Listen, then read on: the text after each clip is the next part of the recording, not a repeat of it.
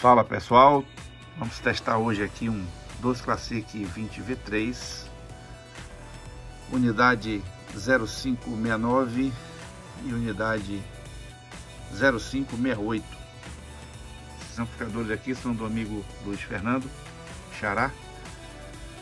O Xará também arrematou duas placas de proteção MP2AF essas placas gente elas são para dois canais, tá?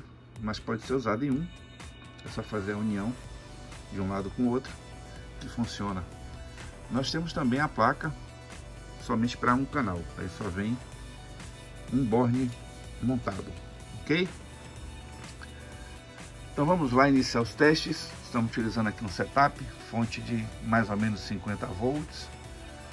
Nossa placa de proteção e filtro de linha soft start, vamos acionar aqui, transformador acionado, o traço ali já está habilitado no nosso osciloscópio,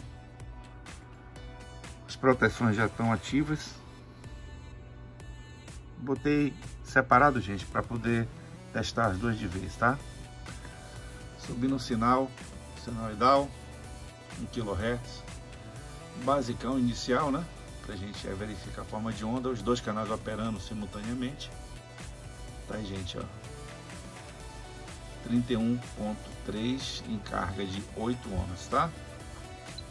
Vamos ver a onda quadrada. Perfeita também, gente. Tempo de subida bom, descida, os agudos maravilhosos. Vamos fazer agora um teste com onda triangular, verificar a simetria. Bem simétrico, amplificador. Estou com uma potência aí de 13.6 volts na saída RMS. Ok, tá aí. Ó. Vamos ao cefamento. Vamos fazer agora um sweep de 20 a 20 nos dois canais. Amplificador bem plano. É o que se espera dos nossos amplificadores. Baixa distorção e um sinal bem plano de 20 a 20. Então o equipamento está testado forma de onda. E agora eu vou fazer uma surpresa para vocês. Vamos testar hoje esse pré-amplificador digital, né? Que o pessoal está comercializando.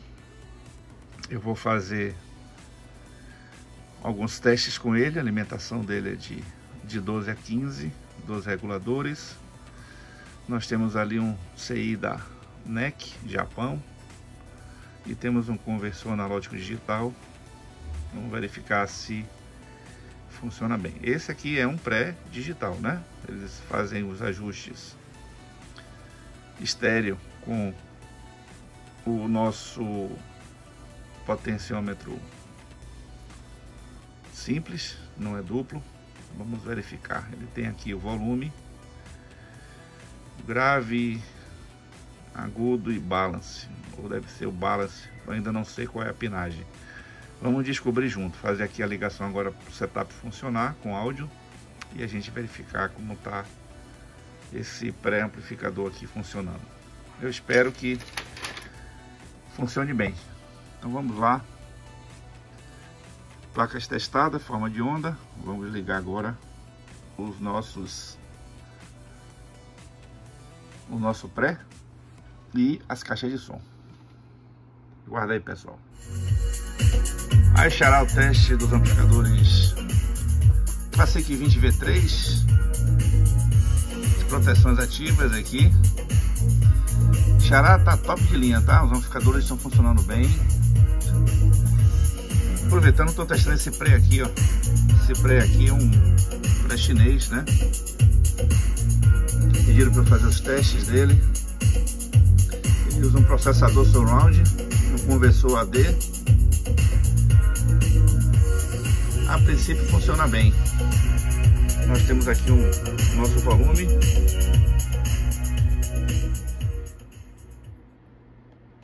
Ele não tem um ganho bom, tá? Eu achei um pouco o som metalizado também. Vou aumentar o volume.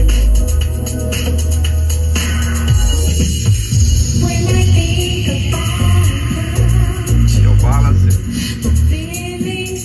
E o grave.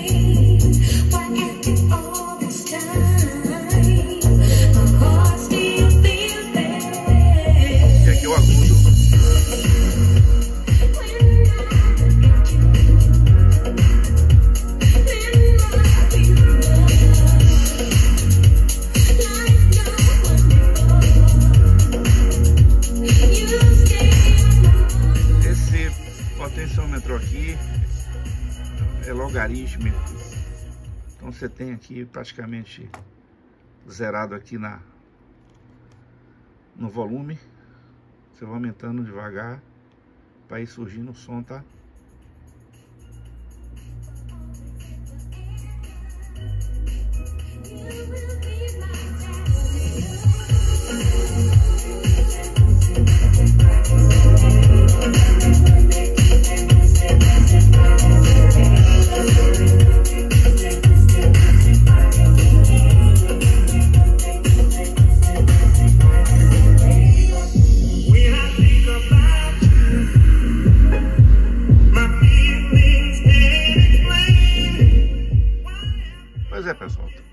Testar, não, não gostei muito, tá?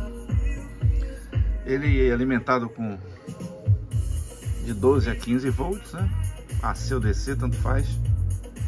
Eu tô alimentando ele até com a tensão um pouquinho mais alta. Baixei um pouquinho ali a tensão. Mas ele funciona bem, tá? Em relação ao que ele se propõe, né? Um produto de baixo custo. Isso aqui está sendo vendido, gente, no AliExpress. Eu já verifiquei, não vou falar o preço. Mas eu não gostei muito dele não, devido a, justamente a tipo som muito metalizado, não é aquele som com os harmônicos, né? Então provavelmente aqui ele deve segurar esses harmônicos. Deve ter muitos filtros, né? Mas esse aqui é um processador surround, tá? Eu já olhei o datasheet desse circuito integrado.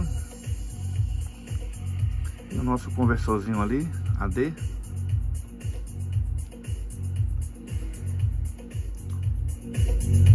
Não tem um bom ganho não, tá?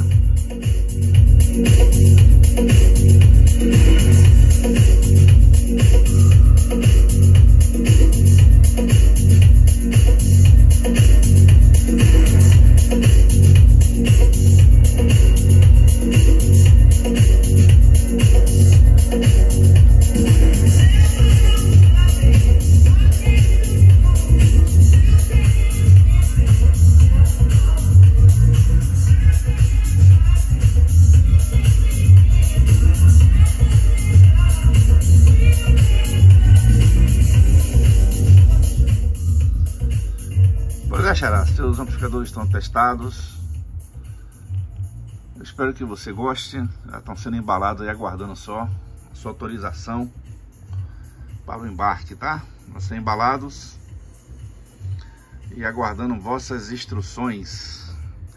Valeu, pessoal. Um abraço, até a próxima.